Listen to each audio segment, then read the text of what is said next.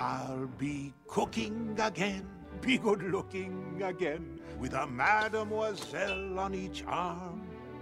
When I'm human again, only human again, poised and polished and gleaming with charm.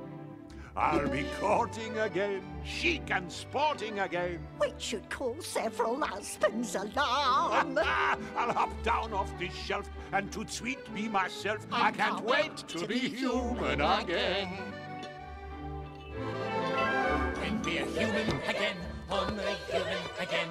When we're knickknacks and whatnots no more. When we're human again, good and human again. Oh, chérie, Bobby Bobby top drawer. I'll wear lipstick and rouge, and I won't be so huge. Why, I'll easily fit through that door. I'll exude savoir-faire. I'll wear gowns, I'll have hair. It's my prayer to be human again.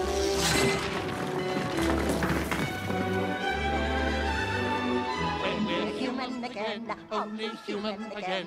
When the world once more stops making sense, I'll unwind for a change. Really? That'd be strange. Can I help it if I'm t- t- tense? In a shack by the sea, I'll sit back sipping tea. Let my early retirement commence. Far from fools made of wax, I'll get down to brass tacks and relax.